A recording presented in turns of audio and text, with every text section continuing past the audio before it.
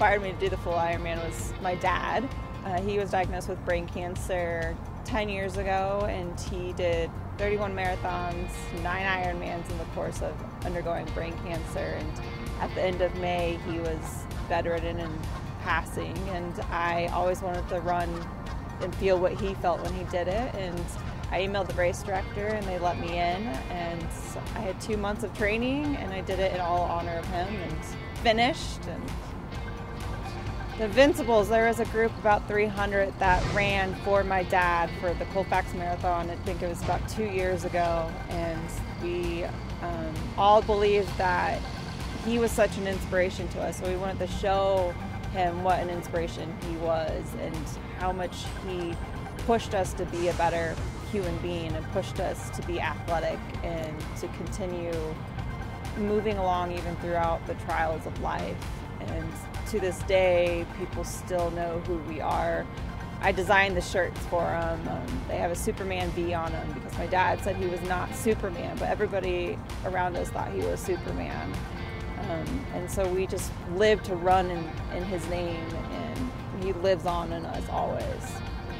On the back of the shirt says, "We will. I will not just survive. I'll be stronger than before." And he did that every day. He not only survived, but he PR'd at a marathon at 303 with cancer, which is unremarkable. Even, I mean, I will never be able to run that fast, but he showed that he he is stronger mentally and even though he did pass it was all it was a mental game and that's all he needed to show anyone well for me my dad's inspiration was just my whole life running i grew up doing with him and then i ended up getting diagnosed with back problems and had a spinal fusion and i don't think i would be running without him again so watching him struggle through brain cancer and going with radiation and chemo day after day, month after month, uh, and watching him run, that was what actually got me to run again. I would never have thought to run a marathon or do an Ironman or anything without him.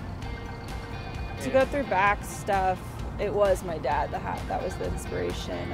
I was told I would never run again. I was told that I might never walk again. So it was all up in the air but um, because of my dad and watching him struggle, and he got told the same thing that he would never run again. He qualified for Boston. For to see that, it was what caused me to be able to get up and run every and run again without um, pain. And I, I think I was uh, two years out when I did my first marathon after a spinal fusion, and four years out I did my first Ironman. Uh, my dad was scared about the water too when he started doing Ironmans, and I had the same fear. And I don't like wetsuits, and I know you're supposed to, you're supposedly supposed to wear one in a race. And my first race was just a sprint, and the day before the race, I picked up a wetsuit. I rented it and saw my dad the day of the race. He just got done brain sur- brain surgery a couple a week or two before, so I was very shocked to even see him there.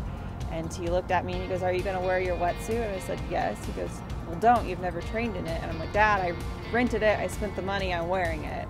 And I got up out of the swim and my dad looked at me and he goes, Where's your wetsuit? I said, It's in the water, Dad. And he just laughed and I laughed. And I, I ended up pulling the wetsuit off probably two minutes into the swim. And I did the same thing again for the half Ironman. I wore the wetsuit, even though he said not to do it. And I pulled it off in the swim again. so during the Ironman, um, there was highs and lows. My dad always told me you'd feel the most alive and the most dead at the same time, and I didn't understand what that meant until I was doing the race. During the race, I, I felt dead because I was exhausted physically, mentally, and I, I almost quit. But I would talk to my dad and say, I know you got through this, just get me through this. And I felt so alive at the same time because I was pushing my body past physical exhaustion, and it, it became a game of mental, men, like it was just all mental for me at that time. I knew I was physically capable of doing it, but mentally I wasn't sure I could do it. So crossing that line was just amazing. I had nothing but joy, nothing but just shock that I did it, and I cried and I couldn't stop crying. I don't know if it was because I was happy or if it was just because I was so exhausted at that point, but um, I felt so alive and just uh, my dad said he defied death every time he crossed that line, and I, I understand now how he felt like he defied death because he just did something that 1% of the population will ever attempt to do. I am doing Ironman Boulder this year again, and then on top of that, I got signed up for a 100 mile run was not planning on it, but my friend who's doing Ironman with me decided that she was doing the 100 mile run and decided I should do it with her. So now I'm using an Ironman as a training for a run. So, and it's really one month after it. So the Ironman's in August, the 100 miles in September. I want people to know that anything's possible, that you can go from sitting on the couch one day to running a marathon. You just have to push yourself and push your mind and never let somebody tell you you can't do something. Um, don't let a doctor, don't let a therapist or whoever say, I can't, you won't be able to run again because that's not true.